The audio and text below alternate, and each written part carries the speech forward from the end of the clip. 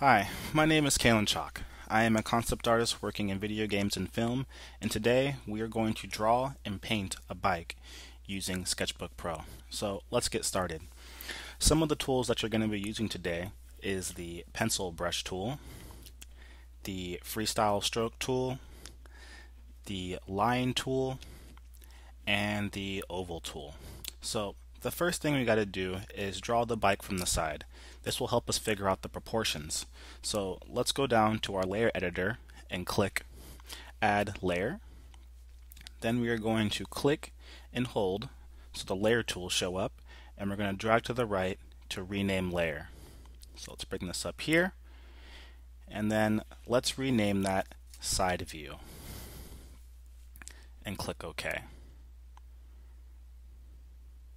So let's select the line tool and what we're going to do is make sure that we select a darker color first than the background color by clicking on one of the colors from the Copic library and we're just going to draw the side view of this bike. This will help us with the proportions when we draw it in perspective. Now let's go to the oval tool. If you click and drag from the oval tool, it will drag from where you started. However, if you hold down Command and Shift, it will drag from the center and make you a perfect circle.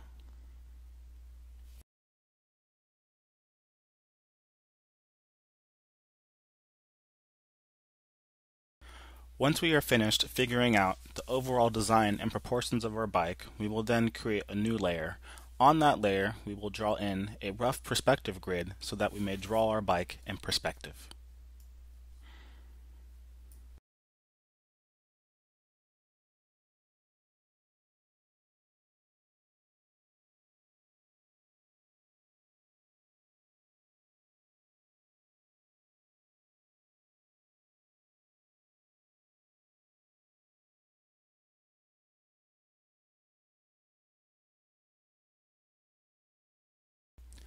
Now that we are finished figuring out the overall side view of our bike, I am now going to click on the Move tool and simply drag and move it to the upper left hand corner so that it does not block us when we are drawing the perspective grid. Now let's create a new layer so we can begin to draw our perspective grid. So let's go to the layer editor and click on add new layer and then click and hold to go to the layer tools and go to rename layer and we're going to name that perspective hit OK, and then make sure that the line tool is selected. And now we are going to simply begin to draw in a basic perspective grid. This will make it easier for us as we begin to draw the bike in perspective. Since we have already figured out the proportions, now it's simply a matter of translating the side view into perspective.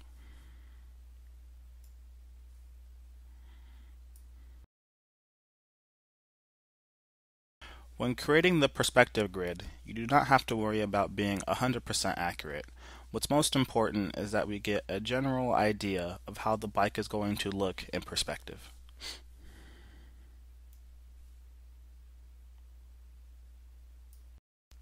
Now that we have finished drawing the basic perspective grid, we can now begin to do the rough drawing of the bike in perspective.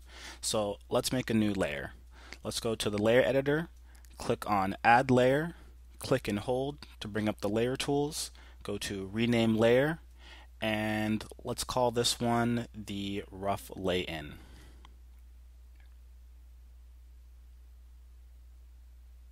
And click OK. Now let's go to the perspective layer and let's lower the opacity. So make sure it's selected, click on the opacity slider and simply drag it down to about 40%. This will make it easier when we're drawing on top of the perspective grid so we can see the bike. Now that we have finished that, we can now begin to do the rough drawing of the bike in perspective. Make sure the rough lay-in layer is selected, make sure the pencil tool is selected, and the freestyle stroke tool is selected, and we can now begin to do a rough drawing of the bike in perspective. Because we have drawn the bike, from a side view and we have made a basic perspective grid, this will now make sure that it's easy for us that when we draw in perspective that the proportions are accurate.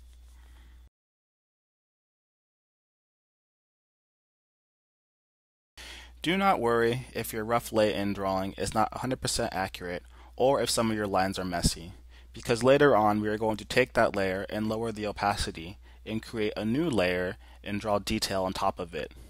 With that new detail layer, we can fix any problems that might have occurred early on.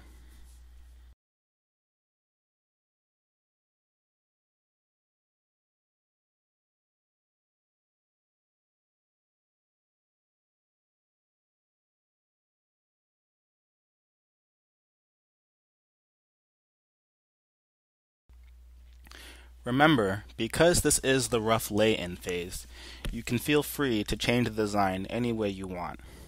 The side view and the perspective grid which is helping us figure out the proportions, but remember at any time, if you want, you can change the design of the bike to what suits you.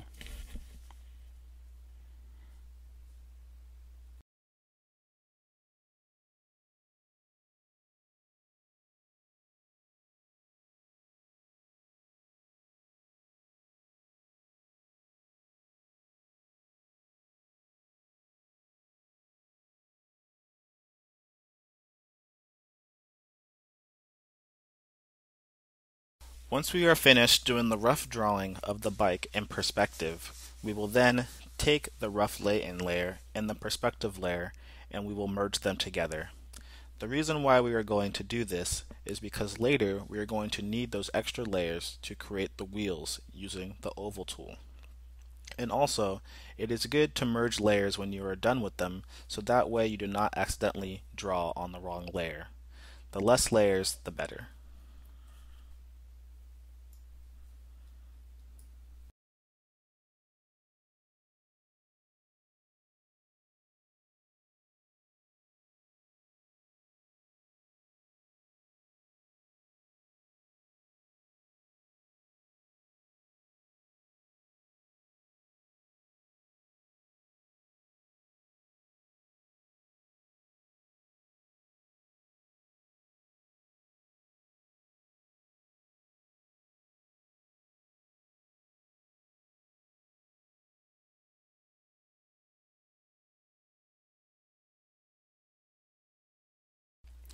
Once I merge those two layers together, I am then going to use the Move tool to move the bike to the center of the screen.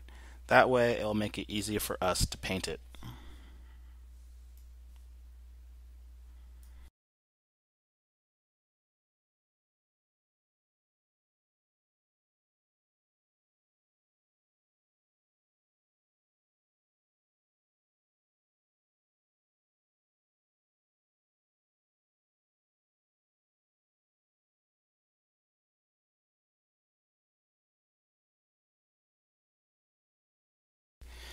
Don't worry if your circles or ellipses are not 100% accurate, because later on we are going to use the oval tool so that we have accurate ellipses for our wheels.